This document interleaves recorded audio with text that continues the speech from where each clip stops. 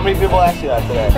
Hot dog and the chicken. Today we're rolling out the red carpet to welcome back our BC students for our spring welcome back week. How'd it go, red carpet?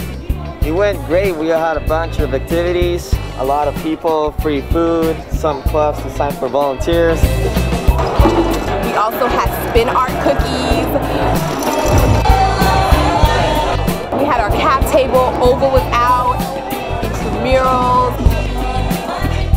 We also had giant games.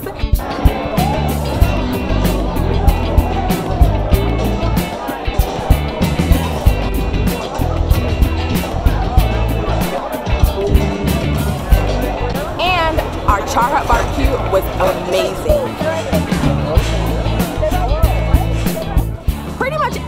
We brought out today was a hit, especially our illusionist, Ran'D Shine. He was promoting our events with his cool magic tricks and illusions.